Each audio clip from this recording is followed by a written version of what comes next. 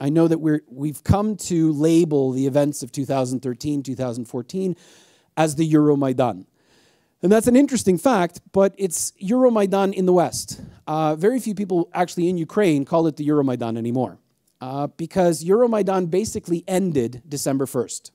Euromaidan was something that was very, very short lived. It was a student movement, primarily student. I'm, I'm referencing something that, that Lubko Markevich talked about yesterday.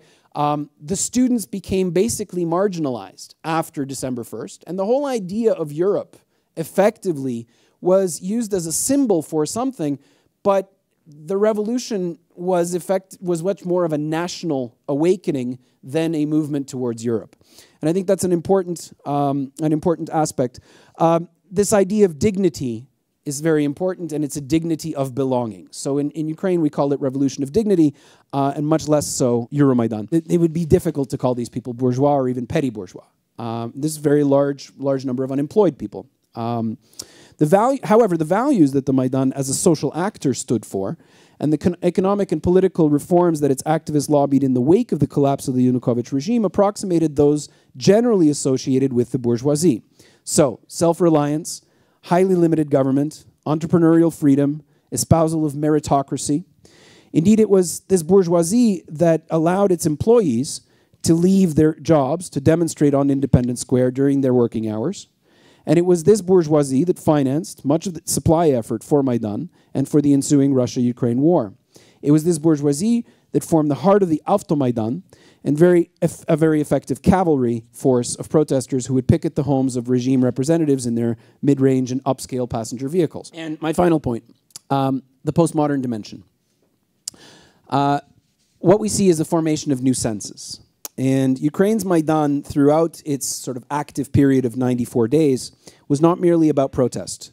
Nominally barricaded from the outside world, Independence Square became a place for intellectual exchange, for the formation of new senses, their discussion, acceptance, rejection, and popularization. It was a place where new paradigms were constructed, molded, and engendered in discourse, symbols, and other communicative art artifacts. Amidst the protesters' tents, barricades facing police lines, speeches from the stage, songs and poetry heard in unlikely places, and never ending negotiations between the opposition party leaders and the regime, people's value systems changed. The terminology used in their conversations transformed.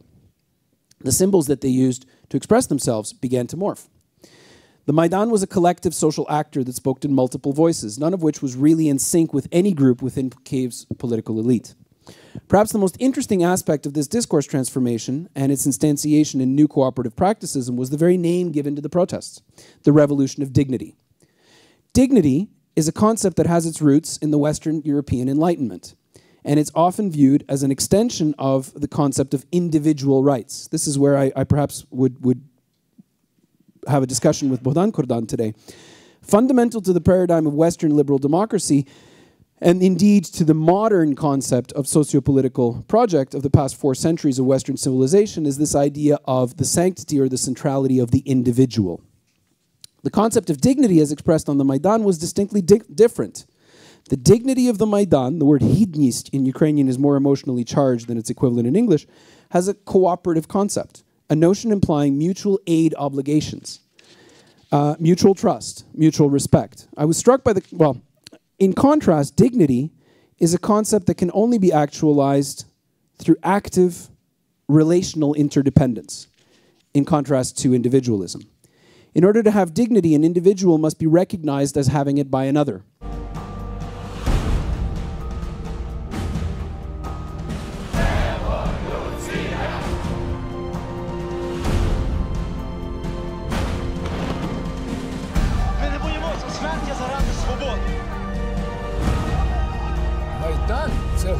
народу.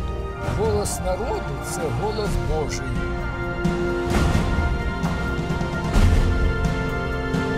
Слава Україні!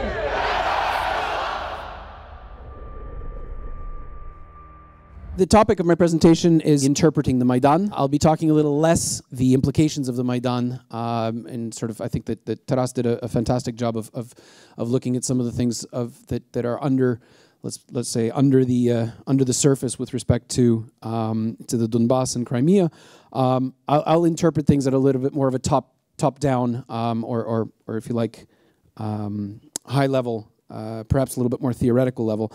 Um, I'm interpreting the Maidan as a triple revolution. Now, the idea here is to try to, to, to, to deal with some complexity. Um, the issue is that, that as, as with many revolutions, um, Maidan is, is a complex, very complex um, event. Uh, revolutions usually involve violence. They inevitably lead to circulation of a state's political elite. And sometimes, as in the case of what we call great revolutions, um, they contribute to broader social changes that encompass uh, a much wider geography and time scale that wouldn't be expected from a sort of a momentary political upheaval. I contend that Ukraine's Maidan was just such a great revolution, great being in quotation marks, if you like. Um, comparable in effect to the American, the French, and the Russian revolutions before it. Um, but as with the case of these other civilization forming events, Maidan's complexities are yet to be understood. So, complexity and multidimensionality is not new to Ukraine analysts. Um, if we look at some of the literature of the, year, of, of, of the 1990s, we have Claus Offe, who first talked about the uh, transitions or the transformations that were ongoing in the late late 1989 and uh, and into the 90s in Central Europe, and he called them a triple a triple transition.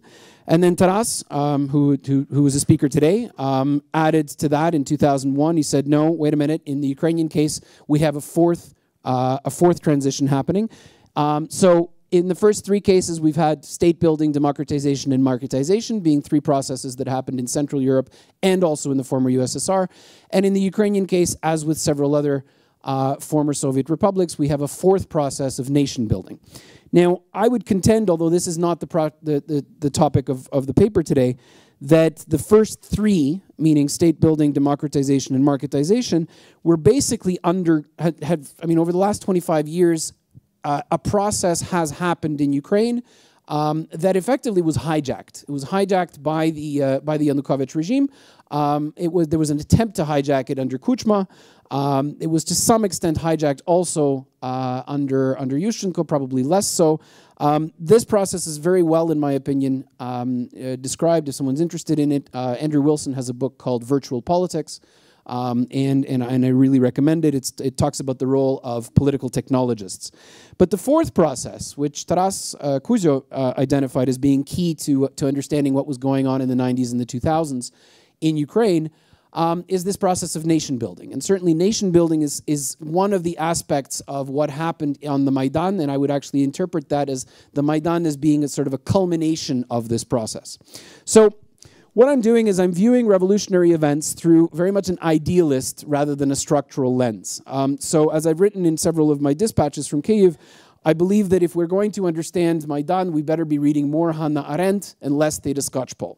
Theda Skocpol is someone who's very much a, a structuralist when it comes to, uh, to revolutions. Hannah Arendt is someone that talked about the American and the French Revolution as being, if you like, civilization forming events and idealist, in other words, uh, events that, that that had uh, that became great because of the fact that they produced new senses for for um, for the world and not just for their own countries. So, in terms of my threefold um, threefold framework that I'm presenting here today, the national dimension uh, is, in in Arendt's terms, would be uh, completion or adjustment of a of a historical trajectory, or at least that is what very often it was. It was. Let's put it this way: it felt like that on the Maidan, and this is something that Arendt talks about a lot. Is is um, first of all, if you're going to understand revolutions, you're going to need to understand what it feels like to be a revolutionary, what these people believed on the Maidan, and very much sort of this idea of completion of a nation building project, or if you like, the adjustment of a, of a trajectory that had gone wrong. Uh, is something that, that, that certainly I felt, and I think many others did as well. The other one is also the transition inflection point for political development, and I call this the bourgeois dimension. I'll explain why I'm using the term bourgeois I know it's it's it's problematic, um, but it even even more problematic would be the, the third term that I'm using, and that's postmodern, um, because certainly bourgeois and postmodern are both labels that have that that that are are variously uh, interpreted. Uh, but certainly the post the postmodern dimension is probably the most interesting to me. So, um, moving on. Uh, each of these dimensions, I'm going to try to to uh, to deal with in turn uh, at during this uh, during this presentation. Um, I'm going to start with the national dimension. We've talked about this quite a bit at this at this symposium, so this will be a little bit of review, and I apologize for that. um, but I will try to add uh, something new to that dimension as well. Um, I think there was a very interesting uh, phrase that came up very recently, and that was that uh, in searching for Europe, we found Ukraine. Uh, I'm personally, and, and, I apologize for, for making this statement to the organizers, but I know that we're, we've come to label the events of 2013, 2014 as the Euromaidan.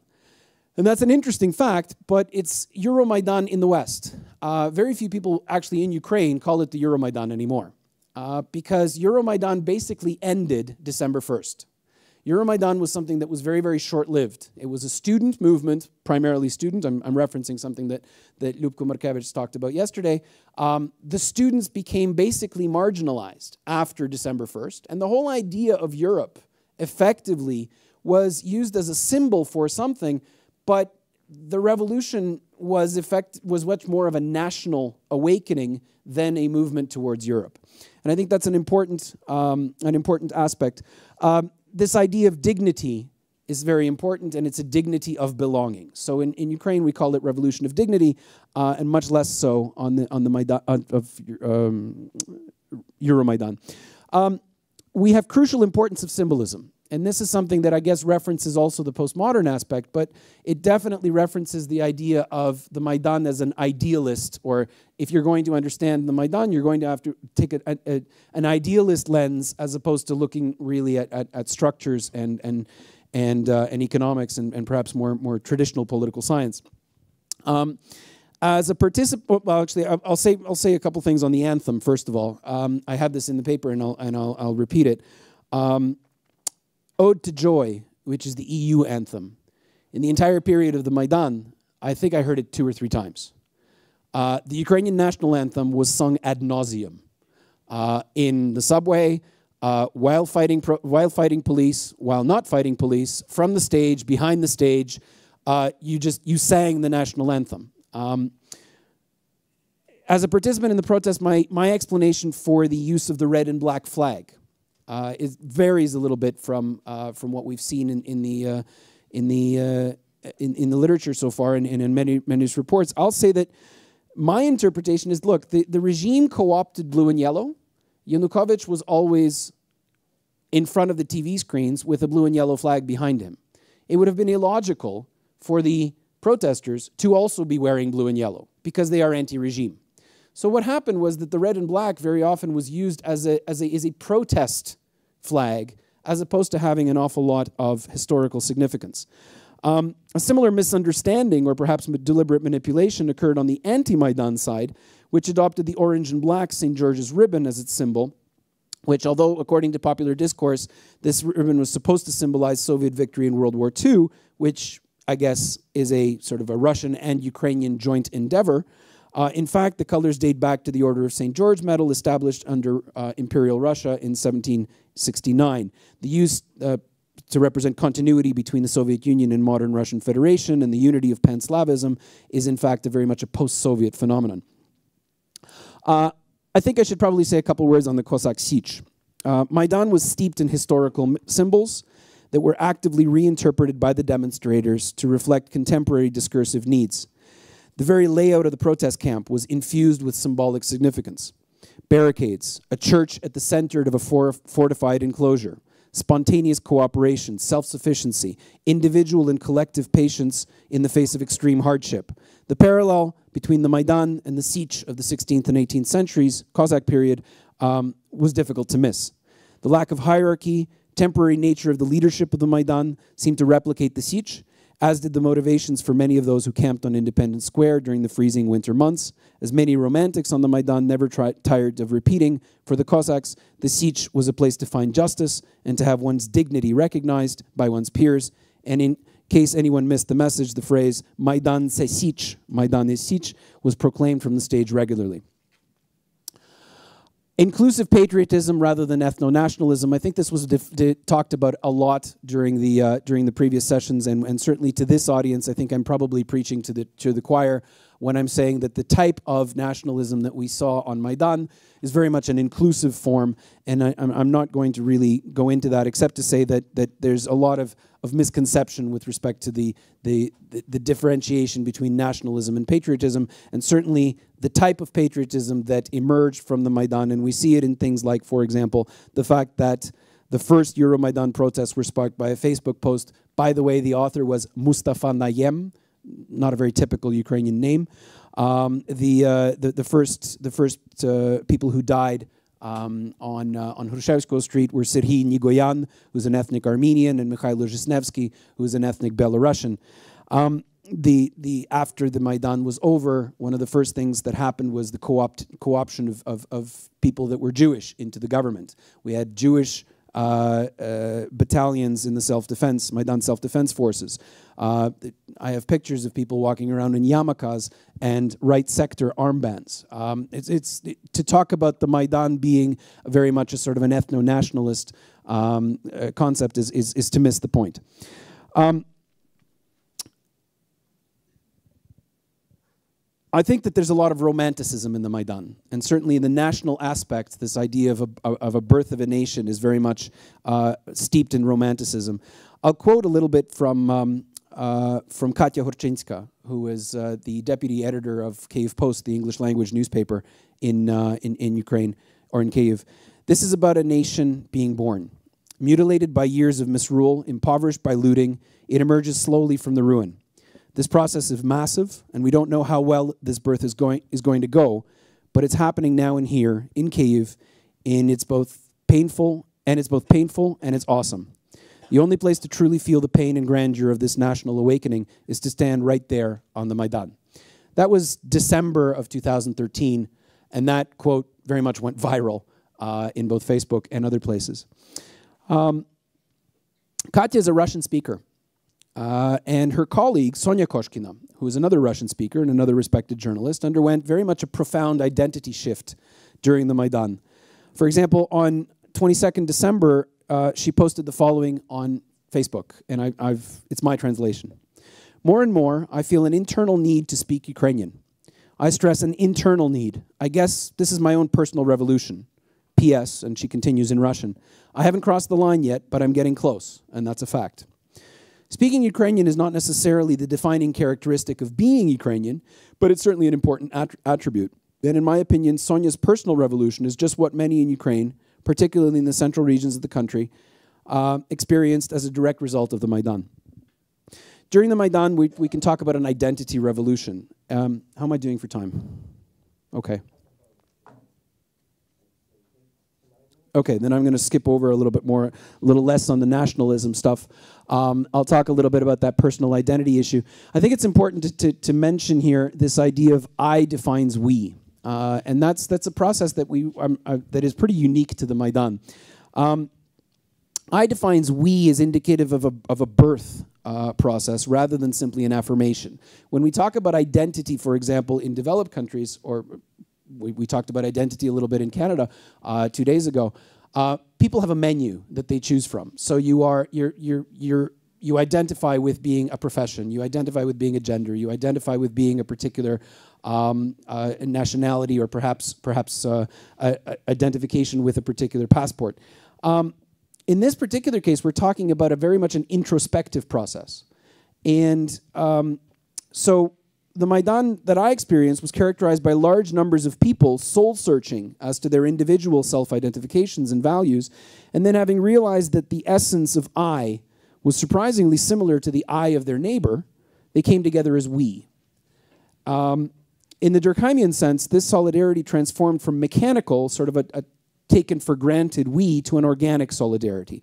And although it wasn't founded on a division of labor, as Durkheim would have had us believe, it was rather on a reflexive process of commitment to a community of values, symbolized in national institutions and perhaps symbols and a desire to build a new state. Let's go on to the bourgeois dimension. To refer to the demonstrators who affected Ukraine's revolution as bourgeois may be somewhat controversial. Um, in socioeconomic terms, many of those who camped out on the Maidan during the winter months could more accurately be called actually Ukraine's underclass. Uh, and there's actually some, some, some fairly good uh, descriptions of, of, of, people that were actually in the tents. Yeah? and, and camping out of uh, there. It would be difficult to call these people bourgeois or even petty bourgeois. Um, this is a very large, large number of unemployed people. Um, the value, however, the values that the Maidan as a social actor stood for and the economic and political reforms that its activists lobbied in the wake of the collapse of the Yanukovych regime approximated those generally associated with the bourgeoisie. So, self reliance, highly limited government, entrepreneurial freedom, espousal of meritocracy. Indeed, it was this bourgeoisie that allowed its employees to leave their jobs to demonstrate on Independence Square during their working hours. And it was this bourgeoisie that financed much of the supply effort for Maidan and for the ensuing Russia Ukraine war. It was this bourgeoisie that formed the heart of the Avtomaidan and very, a very effective cavalry force of protesters who would picket the homes of regime representatives in their mid range and upscale passenger vehicles. Their protest was a reaction to the neo feudal authoritarian system that Yanukovych had instituted, Naturally, once given the chance, their alternative socioeconomic program approximated a classical bourgeois response to corrupt authoritarian rule. And here I'll, I'll provide a little bit of, of some uh, anecdotal stuff. Um, during the months following the, the regime change, I met several times informally with Pavlo Sheremeta, who is a colleague of mine from Kyiv Mohyla Business School. He was the first founding dean. The inter- and at the time, he had been the interim government's Minister of Economic Development and his statement illustrates the economic preferences of the newly installed post Maidan executive. Apparently, the IMF functionaries who had arrived in Kiev to arrange bridge financing after the revolution were shocked.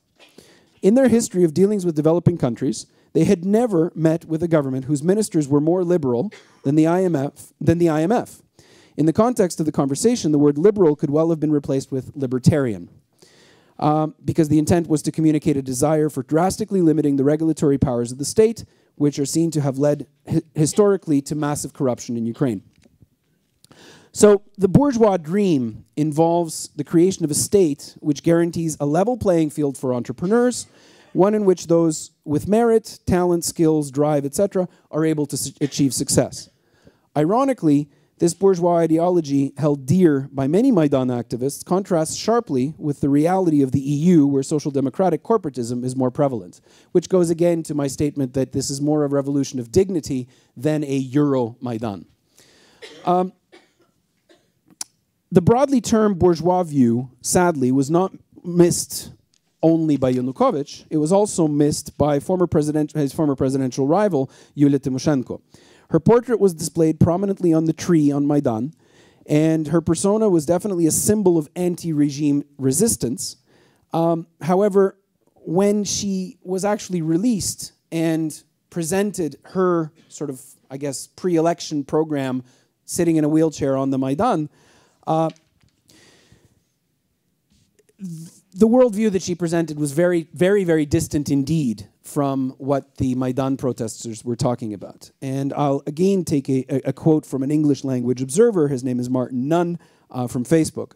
How sad, how truly sad to watch Tymoshenko trying so hard to rouse the crowd on Maidan whilst not knowing that the world that she knew has changed beyond all recognition. Sadly, she is now an out of date politician in a world that, just, that she does not understand. If she runs for the presidency, I think she will unlikely get past the first round. Better that she would just retire gracefully and write her memoirs, as there is no place in Ukrainian politics for her today. During her speech to the demonstrators, Tymoshenko repeated several times that she was deeply saddened that she was unable to take part in the revolution, but that she now, now that she had been released, she would be a guarantor of the rights of the people, and that, quote, she would never let this happen again.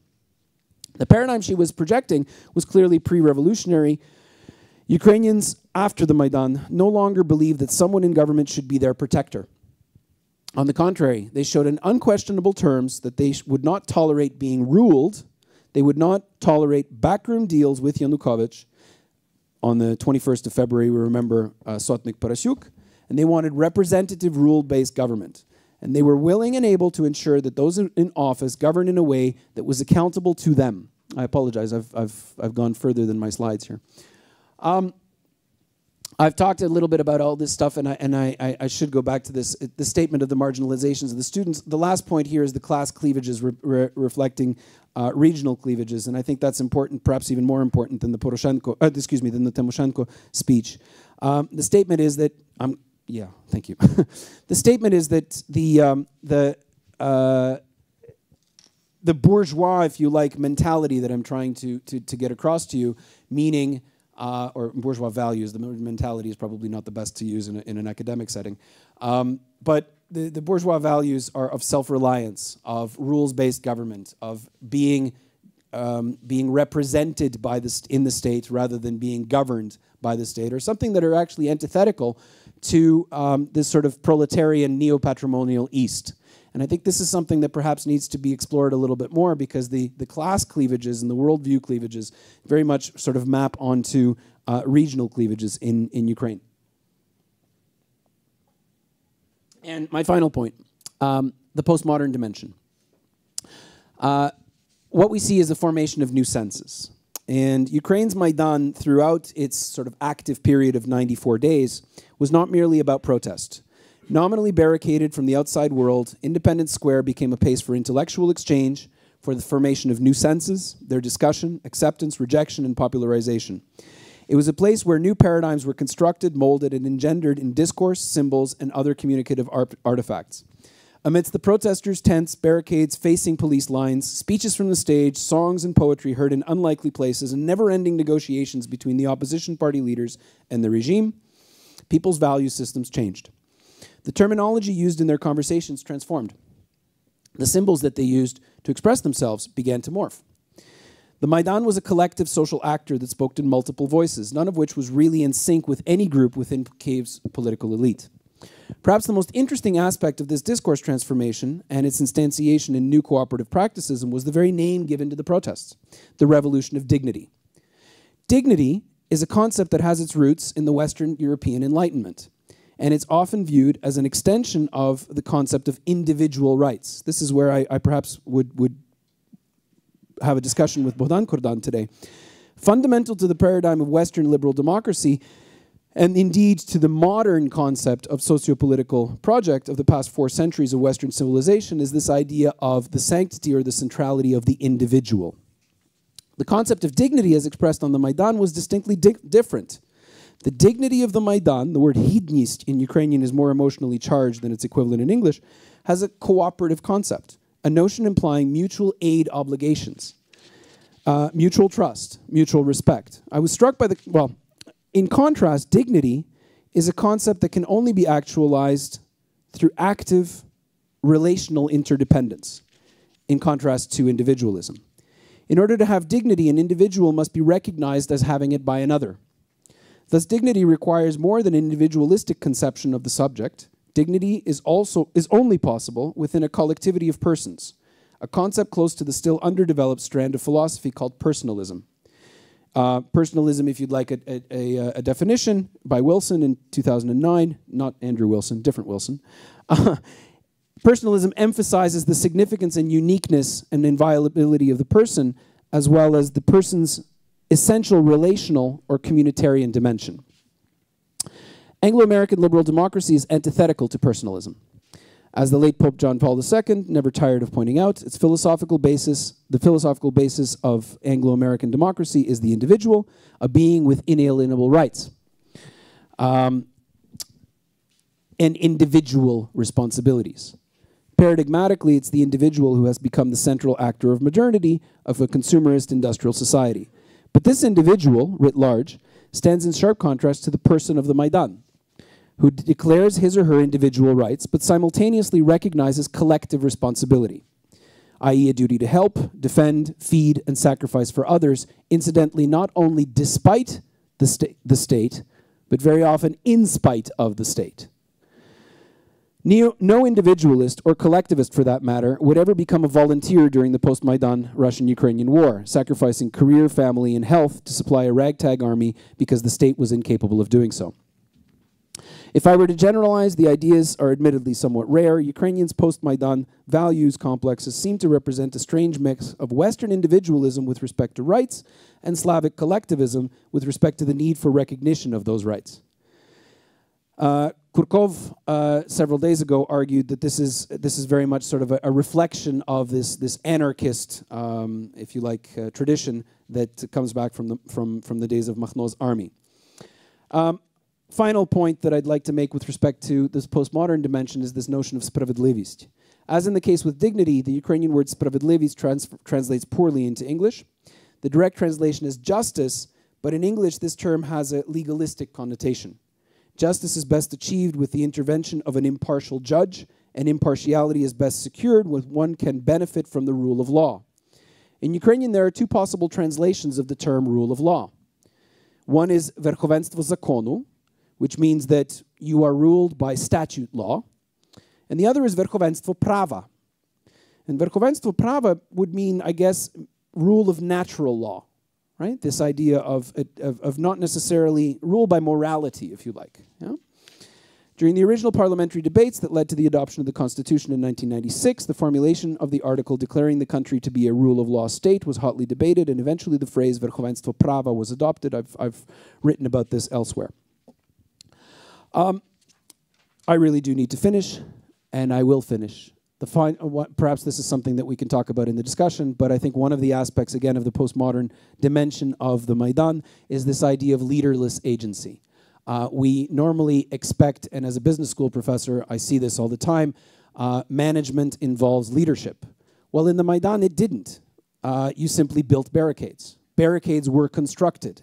No one told you where they. It, it's amazing. You can build a barricade without a project manager. That's that's that's surprising. Um, you can do this because the charisma is depersonalized. The idea of the idea becoming charismatic uh, is, is something new that I think that we as social scientists still need to get our heads around.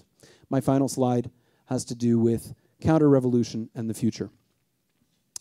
Um, in the 18th century, the founding fathers of the United States made a claim that must have seemed outrageous to the elites of Europe at the time. They claimed their model of sociopolitical organization to be a, a, a model for the world and a sort of a beacon on the hilltop.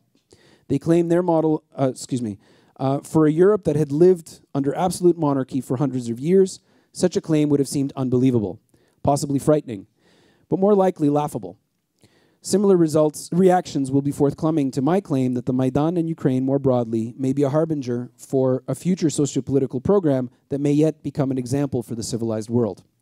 But unfortunately, as with many revolutions, there is a counter revolution happening. So before that beacon on the hill becomes realized, um, there's a problem. Again from Katya Horchenska. In a way, this is a war. It is a war for a new civilization in Ukraine, based on values such as solidarity, dignity, respect for an individual, and clear and equal rights of the game for all. This is no longer about Europe or integration. It's about who we are and where we want to go. If we map our three levels of, or three dimensions of uh, Maidan onto what's going on today, I'd like to end with a, a, sort of a proposition. What's going on at the moment in Ukraine is a, is a counter revolutionary reaction. And as with uh, the revolution, it also has three dimensions. So the reaction to, that we see as Russia's invasion of Ukraine is an attack on the viability of Ukraine as a nation. So that is the answer of the counter revolutionaries to the first dimension being the national dimension. The second thing that we have is we, we, we call it in, in, in, Ukraine, we call this the war against the Hydra. Now, we, the reason we use Hydra is because a Hydra is a kind of an animal that when you chop off one, one head, another one appears. Corruption is like that. Um, we see this as the continuing battle against corruption and remnants of the uh, ancien regime. Um, uh, Taras was very good today at talking about uh, the, this idea of, of criminality uh, criminality, as we know from, from the literature, there's a, a, a, fellow by the name of Vadim Volkov who wrote about this concept of violent entrepreneurship in the 90s and the 2000s, and the fusion of criminality and politics in St. Petersburg.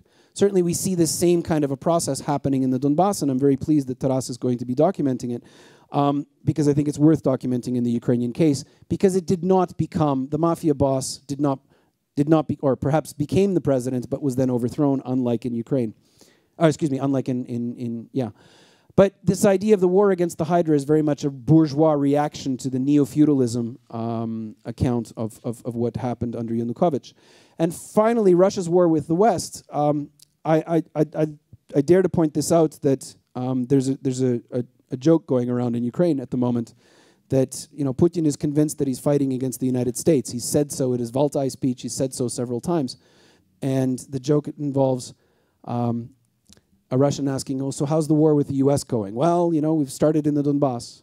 So how's it going? Well, we've got a lot of we've got we've got thousands of casualties, and it's a real problem. So how are the Americans doing? Well, they haven't shown up yet.